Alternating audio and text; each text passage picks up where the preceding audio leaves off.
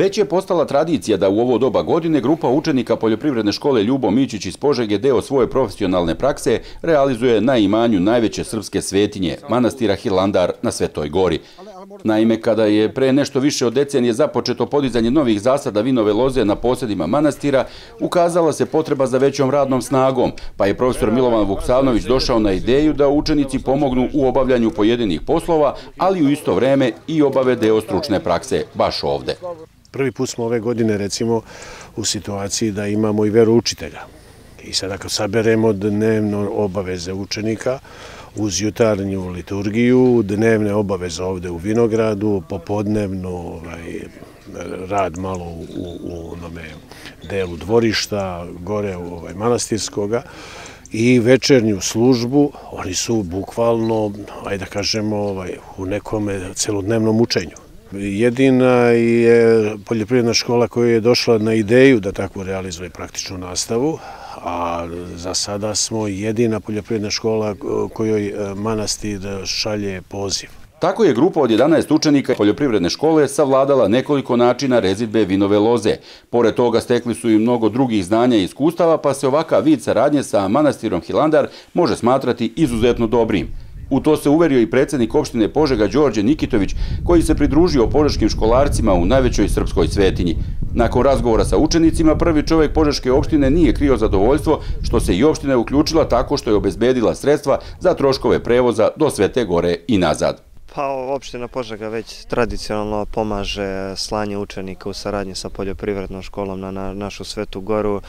Mislim, to ne znam kako bih nazvao, to ne može da se kaže da je opština doprinela nešto, to je minimalan iznos, e, dali bismo i mnogo više, ono što je za nas najvažnije da su ovde svake godine naši najmlađi, naša deca iz poljoprivredne škole koji ovde osim što obavljaju, da kažem, praksu koju bi inače mogli da obavljaju u Srbiji, ali na našoj Svetoj gori je to sasvim nešto drugačije.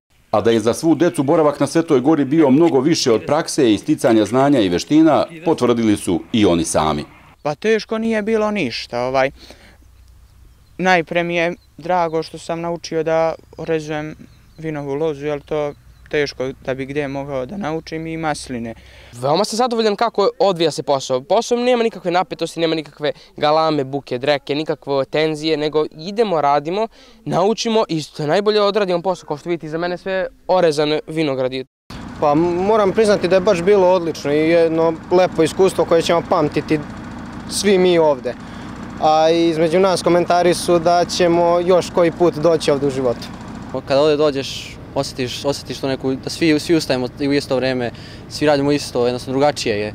Nešto što bi nam, kažem, u Srbiji bilo jednostavno, teško ovde nam je jednostavno i dosta, dosta jednostavno, ne osjetiš neku teškoću.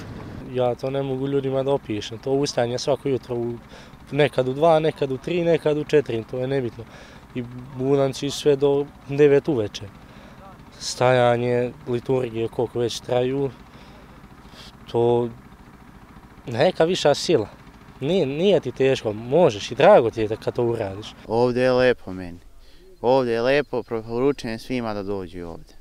Poslednjeg dana boravka u Hilandaru, požeške učenike je primio i iguman Metodije, koji se zahvalio na pomoći i svima uručio poklone u znak zahvalnosti i sećanja na boravak i rad na Svetoj gori.